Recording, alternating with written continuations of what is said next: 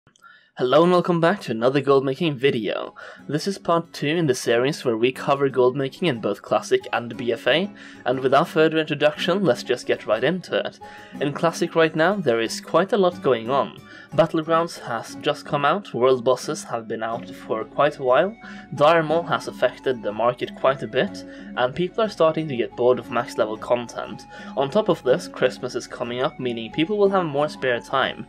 This would, in my opinion, be the very best time to start selling off your Twink items in Classic WoW. You should see items like Shadowfang and Assassin's Blade going up in demand and getting more expensive, and also higher level Twink items like Staff of Jordan should also start seeing a rise in value. It's the perfect combination of everything happening all at once, and even though you can speculate that Twink items might sell better later on, I think this is the perfect time. Because Battlegrounds have just come out, this might also be the perfect opportunity to flip certain flasks or potions, or even elixirs. I myself will try to flip potions used by Twinks and utility potions. I will mostly go for swiftness potions, thistle tea for rogues, and rage potions for warriors. In addition to this, I expect free action potions to see a small spike in price as well.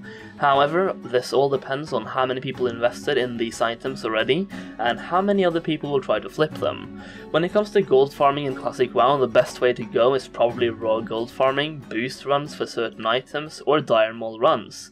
Which type of Dire run you should do depends on your class and professions, but having at least herbalism or mining is recommended to increase your gold per hour. Your best bet would be leveling up a mage to 60 if you don't already have one, and farm Zul'Farrak or Dire until you go crazy and delete the game.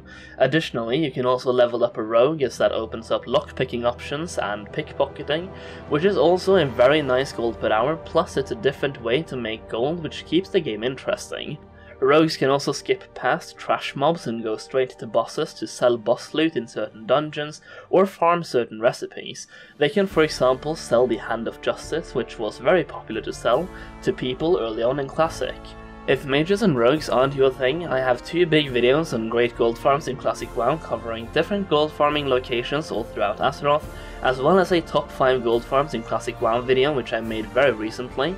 Alternatively, if you want to farm elite mobs in a group, watch my secret gold farms in Classic WoW video as well. As a statement that kinda goes for Classic and BFA, I would strongly advise you to take advantage of your free level 110 boost and BFA copy upon hitting level 60 in Classic. Even if you don't like BFA, you might end up liking Shadowlands or some future expansion, and deals like this don't come along often.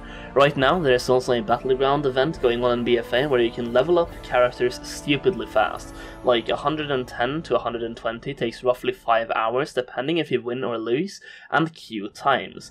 In my experience and as an alliance player, queues are 3 minutes and we lose 75% of the time, and for me average the average time to go from 110 to 120 is, in this event is 5 hours, which for most people is faster than questing. This is a small time investment to set yourself up for the future, and by using my gold making guides for BFA you can literally play Classic for free by purchasing WoW tokens with gold on BFA.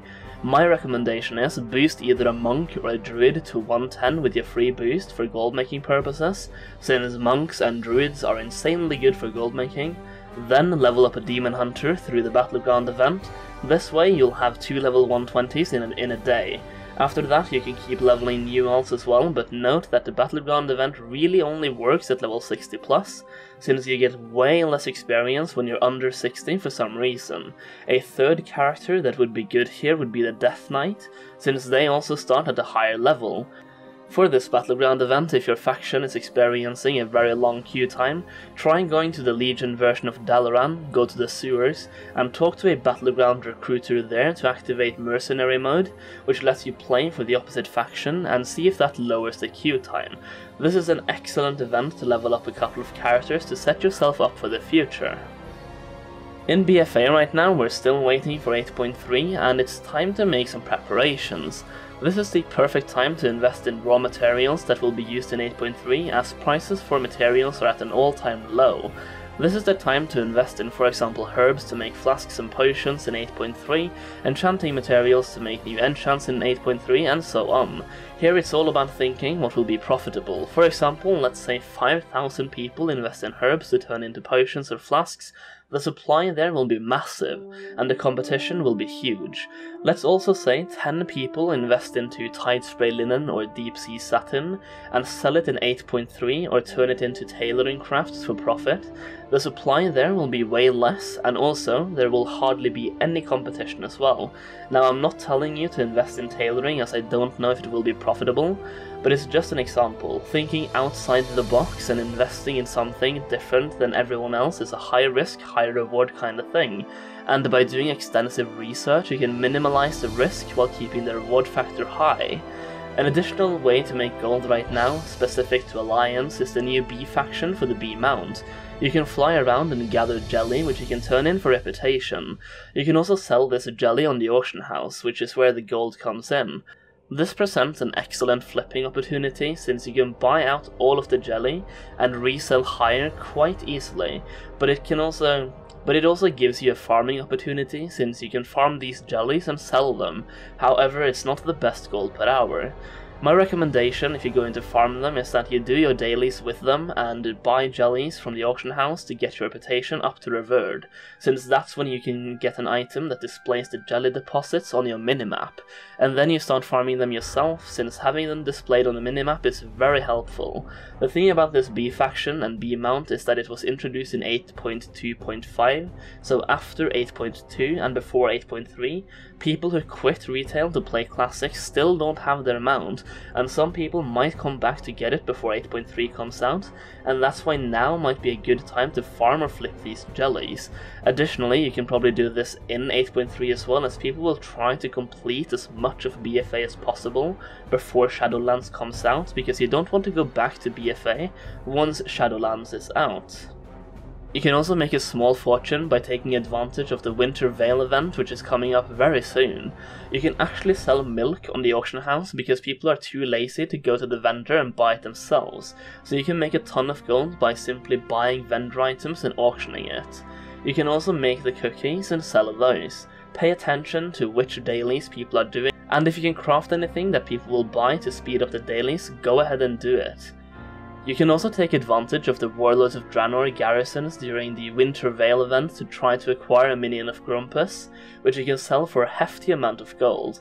As a final note for BFA, I should also mention that if you have any BOE gear from raids, world of drops or crafted gear, this is the time to sell off anything you have left. Since we are expecting 8.3 to arrive in January or early February, most BOE gear from earlier patches will no longer be profitable and will be very difficult to sell.